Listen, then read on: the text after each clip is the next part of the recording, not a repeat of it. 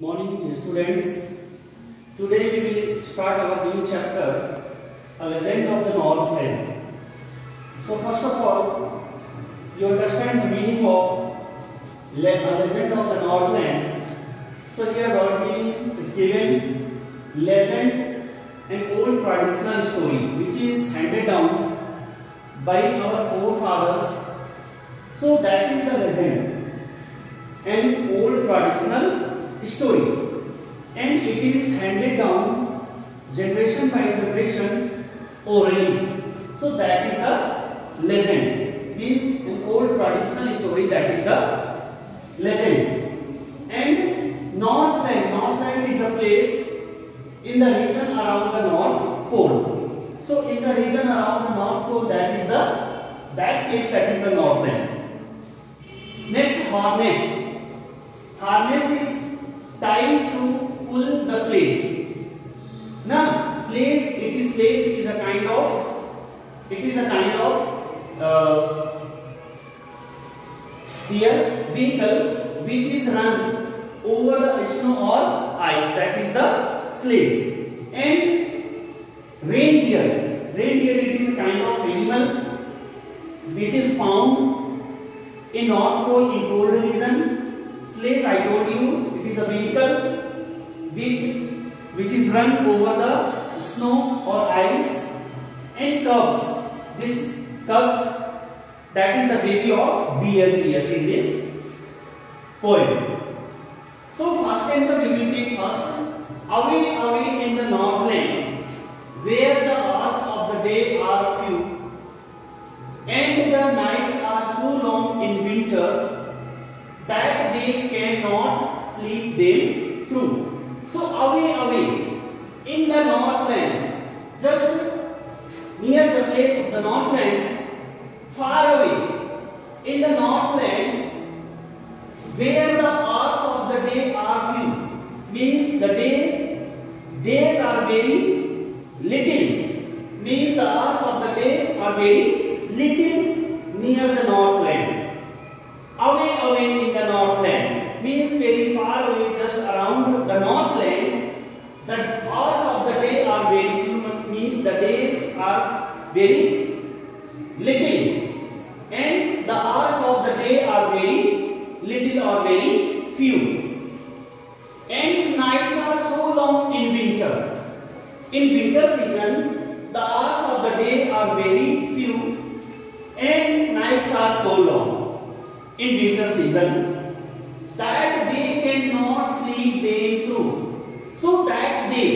They, means the people of the northland, you know, that because of this, you know, the hours of the day are very few and nights are so long in winter season. Because of that, they means the people of the northland cannot sleep throughout the night means throughout the night in winter season because of the cold and nights are so long the hours of the day are very few the people of the northland are around uh, the people of around the northland they cannot sleep throughout the night second stanza where they harness the swift reindeer as i told you you know harness means to tie the reindeer to pull the sledges. So where they, they means the people of the northland.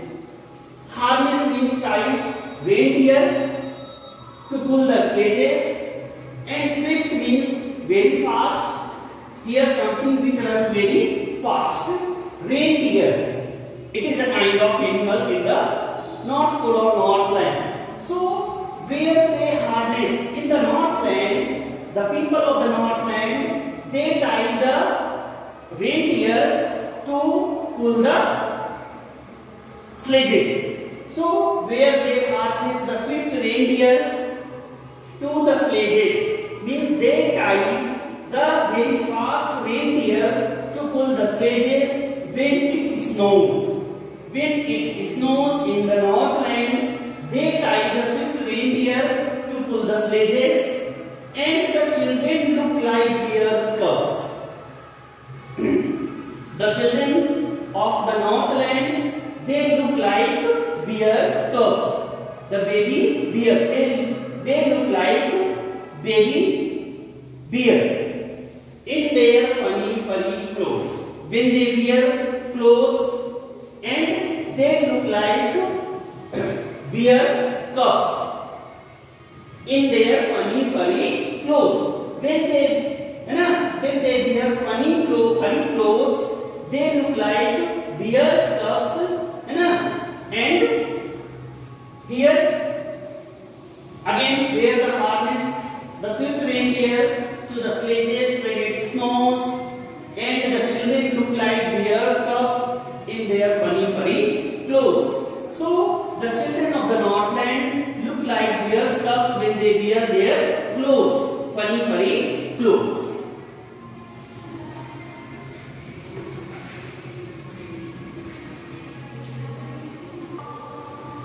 in third standard students, they tell them a curious story. Means the people of the Northland, they tell them the curious means strange. Curious means strange. So the people of the Northland tell them, means tell their children the curious story I didn't believe this true. This, this is the short form of this. So this, this. So here the poet is saying that I didn't believe this is true. I don't believe this is true or not. That the people of the Northland tell the curious story to their children. And yet you may learn a lesson. And yet you may learn a lesson. But you can or you may learn a lesson by that story. By that story whatever they told them means the people of the northland told the story to their children by that story you can learn a lesson if I tell the tale to you, here the writer uh, poet is saying that if I tell the tale to you, if I tell that tale, the people of the Northland told they, their children, if I tell that tale to you, you may learn a lesson. Once when the good Saint Peter lived in the world below, so what story the poet is telling, this is the story, the poet is telling and the story starts from the fourth stanza. So, once when the good Saint Peter lived in the world below and walked about it preaching just as he did you know. So here Saint Peter, Saint Peter an apostle or messenger of Christ. Here Saint Peter is a messenger of Jesus Christ. Once when good Saint Peter lived in the world below, when the Saint Peter was living in the world and walked about it, he walked in all over the world, preaching just as he did you know. Means he walked about the world or he walked in the world to teach the words of Jesus. So once when the good Saint Peter lived in the world below, he is telling the poet is telling the story that when the Saint Peter was living in this world and he moved all over the world to teach the word of Jesus Christ in all over the world just as he did. Just as he did means just as the Saint Peter did, you know.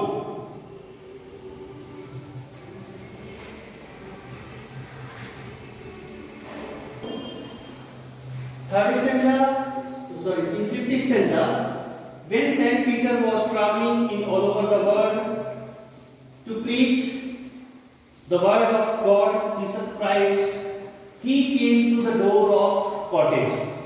So Jesus, sorry, Saint Peter came to the door of a cottage in traveling round the world, round the earth, where a little woman was making cakes and baking them on the hearth. So when Saint Peter was traveling on the earth,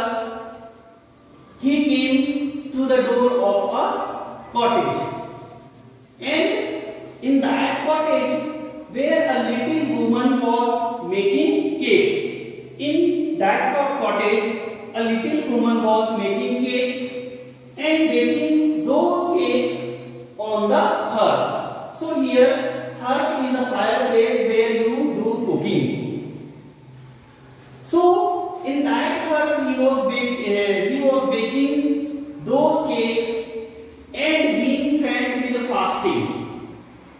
for the game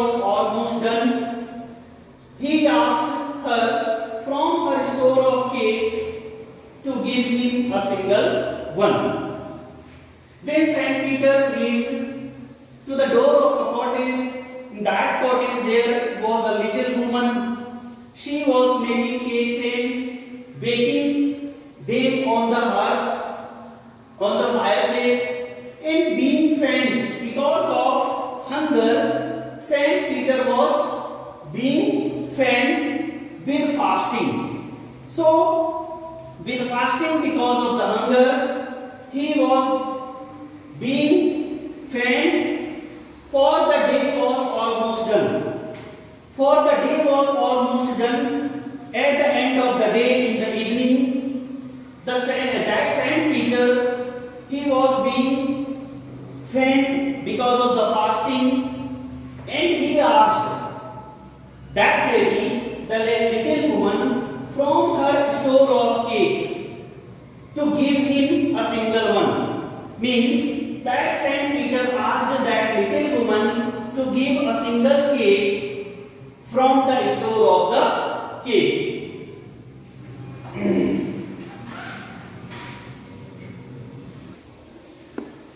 in standard 7. So she made a very little cake. Means when Saint Peter reached to the cottage, there was a little woman and she was making cakes and baking them on the hearth. That the Saint Peter became faint because of the hunger and she asked for one cake from the store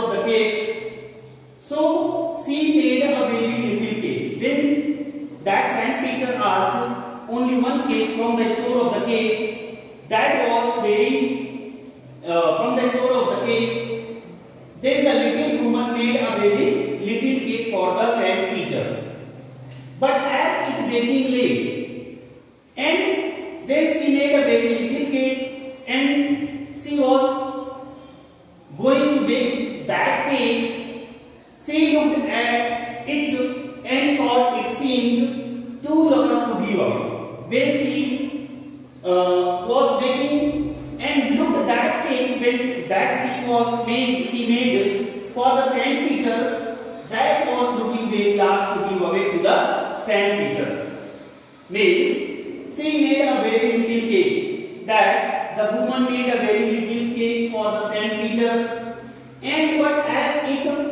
big